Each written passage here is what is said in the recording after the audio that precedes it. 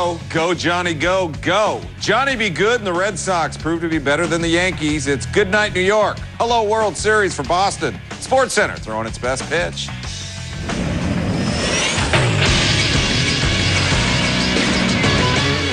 This is Sports Center. Call the Yankees my daddy. There is a Yankee who is down.